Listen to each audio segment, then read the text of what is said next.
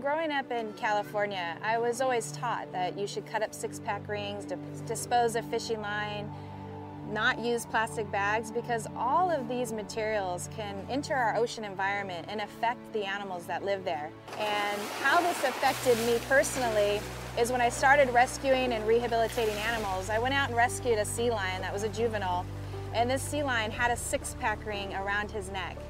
And as the animal grew, the plastic didn't. So it caused quite a traumatic injury to his neck.